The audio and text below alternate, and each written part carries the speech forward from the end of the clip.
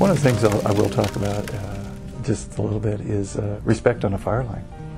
And uh, since I go out as a contract, since I go as a contract crew boss, um, I've gone out as a dozer operator and as a tender operator and as an engine boss, type type six and type four.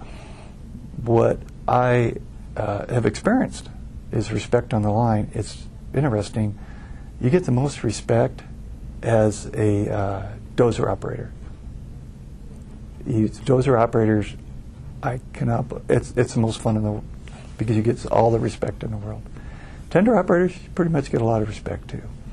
Then maybe engine oper- engine bosses get respect, but you get to the crew level, especially a contract crew level, and the just the respect starts falling off quite drastically.